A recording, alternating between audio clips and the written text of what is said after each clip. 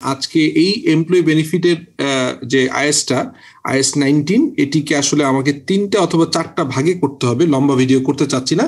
So প্রথমে এর background এবং বুঝে নেই। এরপর আমার মনে হয় যে এর যে অ্যাকচুয়াল ভ্যালুয়েশন আছে বা অন্য বিষয়গুলো আছে হ্যাঁ সেই জায়গাগুলো আমরা ইনভেস্টমেন্ট রিইনভেস্টমেন্টের যে ইস্যুগুলো আছে এবং সেখান থেকে লস এবং গেইন কীভাবে রিকগনাইজ হয় এমপ্লয়ি ডিফাইন বেনিফিট প্ল্যান এবং ডিফাইন কন্ট্রিবিউশন প্ল্যানের ভিতর ডিফারেন্সটা কি আছে? এখানে এমপ্লয়ি এবং এমপ্লয়ারের ভিতরে তাদের লাইবিলিটি লস গেইন হওয়ার সম্ভাবনা কেমন আছে? এই বিষয়গুলো নিয়ে কথা বলব। So without further delay let start যে why IAS nineteen IAS nineteen কেন?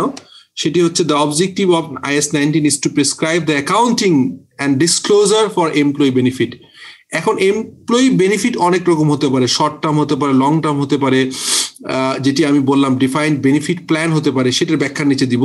ডিফাইন কন্ট্রিবিউশন প্ল্যান হতে পারে সেই বিষয়গুলো খুব ক্লিয়ারলি বুঝতে পারলে এটি অনেক ইজি হবে। আপনাদের কাছে আর কঠিন মনে হবে না। সো বলছে requiring an entity to recognise a liability when the employee has provided service an expense when the entity uh, consumes the economic benefit of the employee service.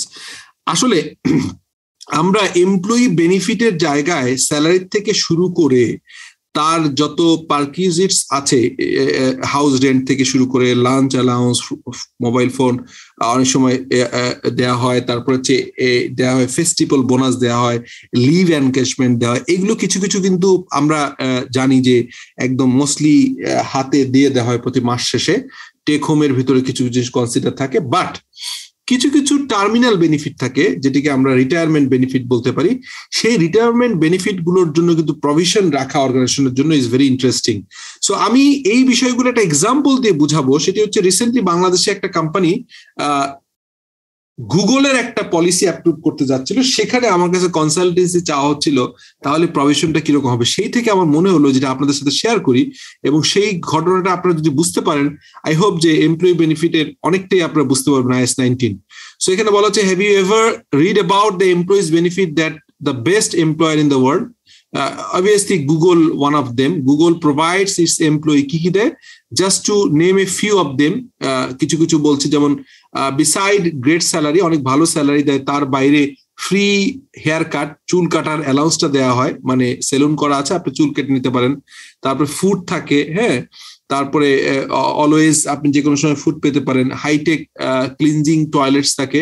টয়লেটগুলো খুব সবসময় একটু মানে অন্যভাবে অটো ডিভাইস লাগানো থাকে, এই বেনিফিটগুলো তারা পায়। অনসাইট মেডিকেল কেয়ার তাদের বাসার ভিতরেই তাদের হসপিটালে যা যেতে প্রয়োজন হয় না। তাদের অফিসের ভিতরেই কিন্তু প্রাইমারি এবং ভালো লেভেলের অ্যাডভান্স লেভেলের কিছু মেডিকেল কেয়ার সুবিধা আছে। ট্রাভেল ইন্স্যুরেন্স দেওয়া হয়। Fun stuff around the office সারা অফিসে বিভিন্ন রকম গেম সুইমিং বিভিন্ন ধরনের থাকে এবং পেইড ম্যান্ডেটরি লিভ এই অনেক ধরনের বেনিফিট থাকে। এখন কোশ্চেন হচ্ছে, এই যে ডিসকাশনগুলো আমরা এখানে করলাম, এখন আপনি বলেন তো, এই জিনিসটা যদি হয় যে একটা আমাদের এমপ্লয়ি বেনিফিট যদি এরকম হয়, তাহলে বিং এ সিএফও আপনি কীভাবে হিসাব করবেন? বিকজ এই জিনিসগুলো কমপ্লিকেটেড এটি গেলে একটা পার্ট এর সঙ্গে কি করে? Well Google even introduce death benefit যেটি বাংলাদেশের এই কোম্পানিটা আমি বলছিলাম, যারা এইটি করার চেষ্টা করছে, তারা করতে যে একটা চ্যালেঞ্জ হয়েছে, সেটা হচ্ছে Google has introduce death benefit so if a Google employee dies during his employment his or her employment uh, his or her spouse continues to receive 50% of the employee's annual salary for the next decade. Interesting হচ্ছে গুগলে চাকরি করা অবস্থায় কাজ করা অবস্থায় কোনো employee মারা গেলে তার স্পাউস অর্থাৎ ফ্যামিলি মেম্বার ওয়াইফ অথবা হাজব্যান্ড উনি এক ওয়ান ডিকেট মানে আই মিন দশ বছর যাবত হ্যাঁ তাকে কিন্তু আপনার হচ্ছে যে ফিফটি পার্সেন্ট অফ দ্য তার যে পেমেন্ট ছিল লাস্ট পেমেন্টের ফিফটি পার্সেন্ট কন্টিনিউ করবে। So is a very unique nature of employee benefit এবং basically it is not a terminal benefit in fact in fact one kind of terminal benefit because employee যখন মারা যায়, তখন তো সে আর সার্ভিসে থাকেন না। সো এটি এটি চয়েস নাই যে এটা কি ভলেন্টারি আপনার দুজনের ভিতরে কন্ট্রাক্টটা চলে গেল, নাকি কেউ রিজাইন করল বা ফোর্স লিভ করা হলো বা তাকে জব স্যাক করা হলো, কিছুই না। যেহেতু মারা গেলে আসলে তখন আর কোনো নিয়ম খাটে না, তো সেখানেই বলা হচ্ছে, এই মারা যাওয়ার পর তার ফ্যামিলিকে দশ বছর যাবত তার লাস্ট পেমেন্টের ফিফটি পার্সেন্ট অর্থাৎ অলমোস্ট বেসিকের একটা অ্যামাউন্ট দেওয়া হয়। Now let us look at it as a CFO আপনি এখন ধরেন এই কোম্পানি গুগলের CFO so what should be your take আপনি এখানে কীভাবে চিন্তা করবেন জিনিসটা? No problem to account for the benefit such as salaries or free haircut মানে এই যে স্যালারি বোনাস দেয় বা হেয়ার কাট এটা নিয়ে কিন্তু কোনো বড় চ্যালেঞ্জ নাই। চ্যালেঞ্জ হচ্ছে however what about the death benefit এটা নিয়ে আপনি কি করবেন? এই জায়গাটায় কিন্তু আপনি একটু কোশ্চেন আছে যে আপনি কি করতে করতে পারবেন এখানে। The issue here is that the benefit is not paid while the employees in service তার মানে সে কিন্তু চাকরিতে থাকা অবস্থায় বেনিফিটটা পাচ্ছেন না। তার বেনিফিটটা কখন আসছে? অনলি ইট আফটার যখন মারা যাচ্ছেন তখন পাচ্ছেন। Moreover Google really does not know when the employee die and thus the liability becomes payable এবং এখানে গুগলের সিএফ বা গুগলের ফাইন্যান্স টিমের চ্যালেঞ্জ হচ্ছে, তারা কিন্তু জানেন না যে কখন কোনো এমপ্লয়ি মারা যেতে পারেন। সো তারা যেহেতু জানেন না কখন এমপ্লয়ি মারা যেতে পারেন so it is very challenging for CFO and finance team to accounting মানে অ্যাকাউন্টিং এন্ট্রি দেওয়াটা ডিফিকাল্ট যে এটার প্রভিশনটা কীরকম করবে so Uh, therefore, that is where IS 19 plays its crucial role.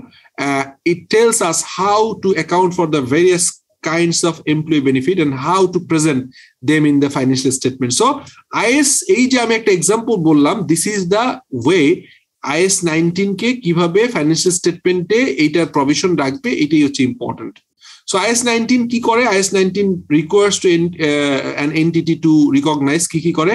A liability একটা লাইবিলিটি রিকগনাইজ হয়। কখন লাইবিলিটি রিকগনাইজ হয়? লাইবিলিটি রিকগনাইজ হয় হচ্ছে a liability when the employee has provided service in exchange of employees benefit to be paid in future মানে ধরেন আপনি একটা লেটসে আপনি একটা পিএফ প্রভিডেন্ট ফান্ড ক্রিয়েট করলেন let's seven percent both contribution provident fund employer seven percent দিবে এমপ্লয়ির থেকে সেভেন পার্সেন্ট কেটে এটা ফান্ডেড করে দেবে অন্য একটা ফান্ডে যেটা ট্রাস্ট এখানে বোর্ড থাকবে প্রভিডেন্ট ফান্ডের যে একটা আলাদা ডিডের মাধ্যমে হবে, সেখানে অ্যাকাউন্ট থাকবে সেপারেট অডিট হবে, তখন কিন্তু এমপ্লয়ারের আর কোনো চিন্তা নেই সেভেন পার্সেন্ট দিয়ে দিয়েছে, এটি কিন্তু তার আর বদারিং নেই ওই ফান্ড যে ম্যানেজ করবে সেখানেও আমরা জানি যে একটা অর্গানাইজেশন থেকে এমপ্লয়ারের পক্ষে তিনজন বা দুজন বা তিনজন থাকে এবং এমপ্লয়ীদের ভিতর থেকেও তিনজন মতো মানে সমন সংখ্যক আপনার রিপ্রেজেন্টেটিভ নিয়ে এই ট্রাস্টি বোর্ডটা ক্রিয়েট করা এবং তারা ডিফারেন্ট রেটে মেনটেন করে। সো ওখানে যদি প্রফিট হয়, তাও এমপ্লয়ীদের কোন রকম যদি ক্ষতিগ্রস্ত হয় ইনভেস্টমেন্ট যদি লুজার হয় কোনো কারণে, সেটাও এমপ্লয়ীদের এখানে এমপ্লয়ার কিন্তু ফার্দার আর কিছু দিবে না, তারা সেভেন পার্সেন্ট দিয়ে থাকবে এবং এখান থেকে যত লোক চলে যাবে, ওই প্রভিডেন্ট ফান্ডের অ্যাকাউন্ট থেকে তাকে পেমেন্ট করা হবে। এটা হিসাব রাখার জন্য সেপারেট অডিট হয় সেপারেট অ্যাকাউন্টেন্ট রাখতে হয় ইট ইস ডিফারেন্ট আরেকটা হয় an expense when the entity consumes the economic benefit arising from the service provided by the employee in exchange of employee benefit এখানে আরেকটা হয় যে কিছু এক্সপেন্স হয়, এটা লাইবিলিটি বললাম। আর কিছু হয় যে আমাদের, যেটা হচ্ছে যে আমরা জানি কি হয় যে আমরা দেখতে পাই যে হচ্ছে যে লাইবিলিটি হয় না এক্সপেন্স হিসাবে পেমেন্ট করতে হয়। So that is also very important so that is the clear demonstration of matching matching principle এখানেও কিন্তু একটা ম্যাচিং প্রিন্সিপালের একটা বিষয় আছে, আমরা জানি যে এখানে কিন্তু একটা ম্যাচিং প্রিন্সিপালের কাজ হবে, যে আসলে এমপ্লয়ীদের থেকে কি বেনিফিট পাচ্ছি আমি এখন এবং তার এগেস্টে কি ধরনের খরচ হচ্ছে। To recognise an expense in the period when matching matching revenue is recognise আমি যখন সেল করছি, আমি যখন এই বছরের রেভিনিউ আর্ন করছি, এই বছরের রেভিনিউ এগেস্ট যখন খরচ রিকগনিশন করতে হবে কস্ট রিকগনিশন করতে হবে, তখন কিন্তু এই ম্যাচিং কনসেপ্ট প্রয়োজন হয়। কীরকম? এখানে হচ্ছে আপনি দেখেন এমপ্লয়ি থেকে আপনি এমপ্লয়ি কাজ করে আপনার আর্নিং করে দিচ্ছে। সো এমপ্লয়িরা কাজ করার মাধ্যমে সার্ভিস দিচ্ছে এবং সার্ভিসের মাধ্যমে এমপ্লয়ার কিন্তু এখানে তার সেল হচ্ছে এবং সেল থেকে তার রেভিনিউ জেনারেট হচ্ছে এবং এরপর খরচ বাদ দিয়ে প্রফিট জেনারেট হচ্ছে। এর এগেনস্টে এমপ্লয়ি যে আপনাকে হেল্প করছে, কাজ করছে, এই জন্য আপনি কিন্তু বেনিফিট দেন। তো benefit not only salary other perks আমরা জানি বাংলাদেশের, এখানে আইএস নাইনটিনের সাথে প্রভিডেন্ট ফান্ডের যে একটা আছে আমাদের এবং আমাদের ইনকাম ট্যাক্স আপনার যে অর্ডিন্যান্স আছে ইনকাম ট্যাক্স অ্যাক্ট আছে ওই ইনকাম ট্যাক্সের ওই রুল বা রেগুলেশনের ভিতরেও কিন্তু ক্লিয়ারলি বলা আছে যে আসলে এই এমপ্লয়ি প্রভিডেন্ট ফান্ড বা আদার টার্মিনাল বেনিফিট এবং সেগুলোর ব্যাপারে বা আদার পার্কিউজিটির ব্যাপারে ট্যাক্সের কি ইমপ্লিকেশন হবে? সো আমি প্রথমত আইএস ফলো করে ডিসকাশনটা করব এবং আমি কোন কোন জায়গায় আপনার লোকাল ট্যাক্সেশন ল সাথে আপনাকে সমন্বয় করার চেষ্টা করব। সো আমি আশা করি যে আগামী দুইটা ভিডিও অ্যাটলিস্ট আমি, আপনি আমার সাথে থাকবেন। So Google should recognise the liability for its death benefit when the employee actually works and not when he dies and the expense when the result of employees work are consume তার মানে কি হচ্ছে? Matching concept বলছে যে যখন মারা যাবে তখন এই খরচটাকে বুক করলে হবে না। যেটি করতে হবে, যখন তিনি বেঁচে আছেন এমপ্লয় আপনাকে সার্ভিস দিচ্ছেন, আপনাকে একটা প্রবাবিলিটি একটা হিসাব ধরে আপনাকে প্রভিশন করতে হবে এবং পরবর্তীকালে অ্যাকচুয়াল ভ্যালুয়েশন করে দেখতে হবে যে এই ফান্ডটা কি আপনার ফান্ডে যে প্রভিশন হচ্ছে, সে তার থেকে বেশি প্রভিশন করা লাগবে নাকি কম করলে হবে? এবং খরচ কেমন হচ্ছে সেখান থেকে কতজন লোক মারা যাচ্ছে, কি অ্যামাউন্ট পে করতে হচ্ছে? That is very much important so ওই অ্যাডজাস্টমেন্টগুলো টাইম টু টাইম আনতে হয়। So ultimately classification of the employee benefit আমরা এমপ্লয়ি বেনিফিটের ক্লাসিফিকেশন যদি দেখি, তাহলে দেখতে পাবো নাইনটিন আইএস নাইনটিন কি করছে? আইএস নাইনটিন হচ্ছে আপনাকে classifies employee benefit into four main categories কি কি four category first of all short term benefit যে শর্ট টার্ম বেনিফিট থাকে, অর্থাৎ আপনি আজকে যে স্যালারি পাচ্ছেন বা মাস শেষে আপনি একটা আদার অ্যালাউন্স কার অ্যালাউন্স পাচ্ছেন লাঞ্চ অ্যালাউন্স পাচ্ছেন, এই জিনিসগুলো হচ্ছে short term post benefit post employment benefit যেটি আমি আপনাকে বললাম পোস্ট এমপ্লয় বেনিফিট হতে পারে দুইভাবে। সেটি হচ্ছে যে ডিফাইন কন্ট্রিবিউশন প্ল্যান এটা আমি এখন ক্লিয়ার করব এবং অনেক সময় হচ্ছে ডিফাইন বেনিফিট প্ল্যান হতে হয়। এরপর আছে আদার লং টার্ম বেনিফিট এবং আদার লং টার্ম বেনিফিট হচ্ছে যেমন ধরেন আমরা জানি যে বিভিন্ন অর্গানাইজেশনগুলো আমাদেরকে যেটা করা হয় সেটা হচ্ছে যে হসপিটালাইজেশনের ইন্স্যুরেন্সের পেমেন্ট করা হয় লাইফ ইন্স্যুরেন্সের পেমেন্ট করা হয় এবং একটু আগে যেগুলো বললাম যে ডেথের মারা গেলে তার এমপ্লয়িকে কন্ট্রিবিউট করবে। Which is also rare but এই ধরনের অনেক ধরনের বেনিফিট থাকে, সেটা হচ্ছে other long term benefit and obviously termination benefit হয়। অনেক সময় আপনি এমপ্লয়িকে বাদ দিয়ে দেন তাকে স্যাক করেন হ্যাঁ? সেপারেশন করে দেন সেই সেপারেশনে কিছু বেনিফিট দিতে হয়। তো these are covered by this in fact IAS nineteen but mostly এই এই জায়গাগুলো শর্ট টার্ম এবং টার্মিনেশনের থেকে এই দুটো জায়গায় বেশি ফোকাস করা আছে। So short term employee benefit employee benefit other than the termination benefit are expected to be settle only before 12 months after the end of the annual reporting period in which employee render service uh, render service related. অর্থাৎ আপনার যে বছরে এমপ্লয়িরা service দিচ্ছেন, ওই বছরের মানে ওই বছরের বারো মাস, অর্থাৎ বছরের সার্ভিস দেওয়ার বারো মাসের ভিতরে যে সেটেলমেন্ট হয়, এগুলোকে শর্ট টার্ম বেনিফিট বলা হয়। Post benefit employment post benefit কোনটাকে বলা হয়? পোস্ট বেনিফিট বলা হয় হচ্ছে যে post employment benefit is basically কি হয়? যে এমপ্লয়ার কি করে আপনাকে? এমপ্লয়ার যেটা করে সেটা হচ্ছে আপনার এমপ্লয়ি বেনিফিট এটা হচ্ছে পোস্ট এমপ্লয়ি বেনিফিট কি হয়? সেটি হচ্ছে post employee benefit other than the termination benefit termination benefit আলাদা। And short term employ benefit অর্থাৎ এইখানে যেটা বললাম, এক বছরের ভিতরে পেমেন্ট করা হয়, আর এই টার্মিনেশন বেনিফিট ছাড়া যেটা হচ্ছে যে, যখন আপনি চাকরি ছেড়ে যাবেন, সেই সময় নর্মাল কেসে যে ধরনের পোস্ট এমপ্লয়মেন্ট বেনিফিট থাকে, সেই জায়গাগুলোকে আপনার এটা বলা হয়। যেমন ধরেন employee benefit other than termination benefit and short term employee benefit that are after after the completion of employment. Employment employment যখন শেষ হয়ে যায়, তখন এই বিষয়গুলো কাজ করে। So this is very important then other long term benefit other long term benefit বলা হয় কাদেরকে। আদার লং টার্ম বেনিফিট হচ্ছে all employee employee benefit other than the short term employee benefit post employment benefit and termination benefit এই যে এইটা বাদে যে আমি শর্ট টার্ম তো বললাম, বারো মাসের পেমেন্ট করা হয় স্যালারি সহ অন্য বিষয়গুলো। পোস্ট এমপ্লয়মেন্ট হচ্ছে যখন টার্মিনেশন যখন টার্মিনাল ইয়ারে চাকরি ছাড়ার পরে ডিফাইন্ড বেনিফিট প্ল্যান অথবা ডিফাইন্ড কন্ট্রিবিউশন প্ল্যান অর্থাৎ আমি জানি যে জিএফ পিএফ এই ইস্যুগুলো আদার লং টার্ম বেনিফিট যেটা আমি বললাম যে একটু যে ডেথ বা ডিসেবিলিটি এই ধরনের পারমানেন্ট ডিসেবিলিটি ক্ষেত্রে হয়, আর টার্মিনেশন বেনিফিট তো হচ্ছে যখন চাকরি বাদ দিয়ে দেওয়া হয় এবং ফোর্সফুলি রিটায়ারমেন্ট করা হয়। সো টার্মিনেশন বেনিফিট ক্ষেত্রে কি বলা হয়েছে? টার্মিনেশন বেনিফিট তো বলা হয়েছে যে এখানে কি বলা হয়েছে? যে employee benefit provided in exchange of the termination of an employee employees employer as a result of either মানে যে কোনো জায়গা থেকে মানে এমপ্লয়ার যদি এমপ্লয়মেন্ট থেকে বাদ দেওয়া হয়, তাহলে এটা হয়। And entity decision to, to terminate an employee employment before the normal retirement date normal retirement date বা তিনি voluntarily ছাড়েন নাই এমপ্লয়ি ছাড়েন নাই এমপ্লয়ার তার পছন্দ, অপছন্দ বা যে কোনো কারণে উনি সেপারেশন চাচ্ছেন, উনি টার্মিনেট করতে চাচ্ছেন, উনি স্যাক করতে চাচ্ছেন, সেই ক্ষেত্রে এই ধরনের বেনিফিটগুলো আসে। আমরা জানি অনেক ক্ষেত্রে চার মাসের বেতনটা দিতে হয়, চার মাসের বেসিক বন্য ইস্যুগুলো এবং এবং অবভিয়াসলি তার জিএফ মানে গ্র্যাচুইটি ফান্ডের টাকা থাকতে হয় যে কত বছর সার্ভিস তার উপর বেস করে। আমাদের দেশের লেভেল ল নিয়ম বলা আছে মিনিমাম পেমেন্টের ক্ষেত্রে। ম্যাক্সিমামের ক্ষেত্রে আসলে স্ট্যান্ডার্ড ওভাবে নাই ম্যাক্সিমাম তো করতেই পারেন বাট মিনিমাম পেমেন্টের ক্ষেত্রে লেভেল লতে ক্লিয়ারলি বলা আছে। হচ্ছে an employee's decision to accept an offer of benefit in exchange of their termination employee so now what you think এটা হচ্ছে যে in which category does the Google's death benefit fall on the regarding reading and you will see তাহলে কি গেল? আমরা যদি বলি, আমি এখানে আসলে যেটা বলতে চাচ্ছি সেটি হচ্ছে যে গুগলের যে ইস্যুটা এখানে দেখলাম, এটা আসলে বেসিকলি ইজ আমি এখন ক্লিয়ার করি যে আমি দুটো জিনিস বলেছিলাম। এটা আসলে আপনাদেরকে বোঝানোর জন্য আমাকে একটু লিখতে হবে। সেটা হচ্ছে ডিফাইন বলা হচ্ছে define contribution plan contri contribution plan আরেকটা হচ্ছে ডিফাইন ডিফাইন বেনিফিট প্ল্যান হ্যাঁ এখন এই দুটো ডিফারেন্সটা কি? এই দুটো ডিফারেন্স যদি আমরা বোঝার চেষ্টা করি, প্রথম হচ্ছে আপনাদের কাছে কি মনে হয়?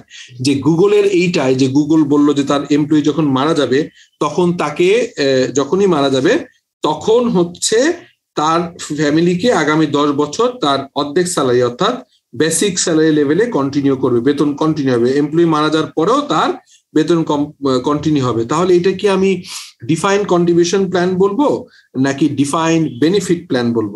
সো এইটা is this is very important question for all of us so এই জায়গায় আজকের মতো ক্লিয়ার হয়ে আমরা এটা শেষ করব সো দ্যাট নেক্সট দিনে আমি কিছু প্র্যাকটিক্যাল এক্সাম্পল দেখিয়ে আপনাদের জন্য এটা আরও সুবিধা করতে পারব। সেটি হচ্ছে ডিফাইন্ড ডিফাইন্ড যেটা কন্ট্রিবিউশন প্ল্যান আমি বলছি, সেটি হচ্ছে মানে আলটিমেটলি এটা একটা সহজ এমপ্লয়ীদের জন্য ডিফাইন্ড কন্ট্রিবিউশন প্ল্যানসটা আসলে অনেক সহজ হয়।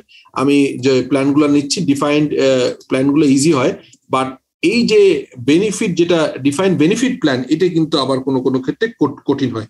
কেন কঠিন হয়, কেন সহজে আমি ক্লিয়ার করছি। সেটা হচ্ছে ডিফাইন কন্ট্রিবিউশন প্ল্যান এইটা আসলে বেসিকলি একটা উদাহরণ দিই। যেমন আমি বলি যে পিএফ পি পিএফ কে আমি দিচ্ছি let's at the rate of let's seven percent যে উদাহরণ দিলাম সেভেন পার্সেন্ট পিএফ দিয়ে দিলেন। এটা হচ্ছে বোধ কন্ট্রিবিউটর অর্থাৎ এমপ্লয়ি এমপ্লয়ি থেকে কেটে জমা দিবেন এমপ্লয়ি থেকে কেটে আপনার ফান্ডে দিয়ে দিবেন, আর এমপ্লয়ার থেকে সেভেন পার্সেন্ট দিবেন। এই seven percent is define contribution কত পার্সেন্ট এমপ্লয়ি কন্ট্রিবিউশন করছে, এটি কিন্তু জানা। আমরা জানি যে এমপ্লয়ার কন্ট্রিবিউশন করবে সেভেন পার্সেন্ট তার বেতনের সেভেন পার্সেন্ট করবে। তো আলটিমেটলি সেভেন পার্সেন্ট যদি উনি করে থাকেন, তাহলে কিন্তু এখানে আর কোনো চ্যালেঞ্জ নেই। আর ফার্দার কিন্তু এই ডিফাইন কন্ট্রিবিউশন প্ল্যানের এগেনস্টে তাকে কোনো টাকা পয়সা আর দিতে হবে না। বিকজ এখানে আমরা কি বললাম? যে দিস ইজ বেসিকলি কি হয়েছে? এটাকে আমরা বলছি হচ্ছে ডিফাইন কন্ট্রিবিউশন প্ল্যান অর্থাৎ সেভেন পার্সেন্ট পিএফ এ এমপ্লয়ার দিয়ে দিলে তার ঝামেলা শেষ আর কিছুই করতে হবে না। সেকেন্ড যেটা বলছি which is little bit different than the first one কি এখানে হচ্ছে? এখানে হচ্ছে দেখেন যে আমি এই যে একটু আগে বললাম যে উনি কখন মারা যাবে আমি জানি না। মারা গেলে ওনার বেতন লাস্ট বেতন কত থাকবে আমি জানি না। সেটার দশ বছর ধরে ফিফটি পার্সেন্ট টাকা দিব। সো এই বেনিফিটটা confirm বেনিফিটটা define benefit define but amount define না। আমি কিন্তু এটা আনলিমিটেড লাইবিলিটি সো এখানে যেটা হয় যে এই যে ফান্ড ক্রিয়েট করা হয় ফান্ডের টাকা যদি কম থাকে, তাহলে কিন্তু এমপ্লয়ারকে আবার দিতে হয়। এখানে কিন্তু ফান্ডে দেওয়ার পরে এমপ্লয়ার আর কোনো রকম কোনো ধরাবাধা নিয়ম থাকে না। সো এখানে কি হয়? যেমন জিএফ গ্র্যাচুইটি ফান্ড হয় হ্যাঁ? জিএফ হয়, তারপর হচ্ছে এই যে এই যে এইটাকে ডেথ বেনিফিট বললাম হ্যাঁ? এই ইয়ের যেটা আপনার আমাদের গুগলের যে এক্সাম্পল দিলাম যে ডেথ বেনিফিট এটার ক্ষেত্রে কিন্তু কি হয়? আমি লাস্ট টুডেজ লাস্ট টপিকস আমি আপনাদেরকে বলতে চাচ্ছি যে আসলে যেটা হচ্ছে সেটা হচ্ছে যে এই প্রথমটার ক্ষেত্রে আসলে এমপ্লো এমপ্লয়ারের লাইবিলিটি ইজ ভেরি শর্ট মানে এমপ্লয়ারের লাইবিলিটি কিন্তু খুবই কম। এমপ্লয়ার কি করলে হয়? এমপ্লয়ার কিন্তু শুধুমাত্র তার যেটুকু টাকা দেওয়ার কথা সেটা দিলেই সে তার লাইবিলিটি শেষ। বাট এই পরেরটার ক্ষেত্রে যেটা হয়, সেটা হচ্ছে যে না, তার লাইবিলিটি আনলিমিটেড অর্থাৎ এই যে গ্র্যাচুইটি ফান্ড অথবা ডেথ বেনিফিট প্ল্যান এখানে কিন্তু গ্র্যাচুইটির ক্ষেত্রে কি হয়? ধরেন প্রতি সার্ভিস ইয়ারের জন্য, প্রতি সার্ভিস ইয়ারের জন্য তার লাস্ট যে ড্রয়িং একটা লোক ধরেন দশ বছর কাজ করে, পনেরো বছর কাজ করে রিটায়ারমেন্টে যাবে। পনেরো বছরের মাথায় তার মান্থলি স্যালারি যেখানে দাঁড়াবে, আজকে আমি জানি যে তার পার মান্থ স্যালারি পঞ্চাশ হাজার টাকা বাট পনেরো বছর পরে তার স্যালারি দেড় লাখ টাকা হইতে পারে, এক লাখ আশি হইতে পারে, দুই লাখ হইতে পারে, আড়াই লাখ ইভেন আরও বেশি হতে পারে। সো আমি তার ওই সময় লাস্ট যে যেখানে তার সেপারেশন হবে, যেখানে তার রিটায়ারমেন্ট হবে, তখনকার স্যালারি আমি জানি না। সেই স্যালারি হয়তো দুগুণ করে প্রতি মাসের জন্য মানে প্রতি মাসের দুইটা করে বেসিক মানে প্রতি দুইটা করে বেসিক ফর এভরি ইয়ার প্রতি বছরের জন্য দুইটা বেসিক অথবা প্রতি বছরের জন্য লেটসে একটা একটা টোটাল এই ধরনের আইন বলে, যেটা বাংলাদেশের গ্র্যাচুইটি ফান্ড বা আইন বা কাস্টমস আছে, যেটাকে বলা হয় হচ্ছে, আমরা জানি যে লিগাল অ্যান্ড কনস্ট্রাকটিভ অব্লিগেশন অর্থাৎ লিগালি তো আমরা জানি আইন দ্বারা জিএফ কে ম্যান্ডেটরি করা হচ্ছে ডাব্লিউপিপিএফ করা হচ্ছে বাট আমরা জানি কনস্ট্রাকটিভ লাইবিলিটি অর্থাৎ একটা অর্গানাইজেশনের কাস্টমস প্র্যাকটিসে আমি যদি প্রতি বছর প্রফিট বোনাস দিই সো এই বছরে দিব এটাই সব আশা করা হয়।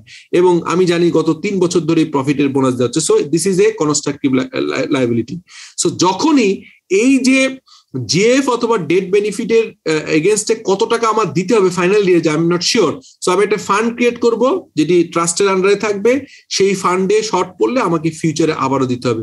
So this is the basic difference between define contribution plan and define benefit plan আমি আশা করি যে আপনার নেক্সট দিনে যখন অন্য অন্য এক্সাম্পলগুলো দিব, আপনাদের বুঝতে সুবিধা হবে। So far thank you for being with me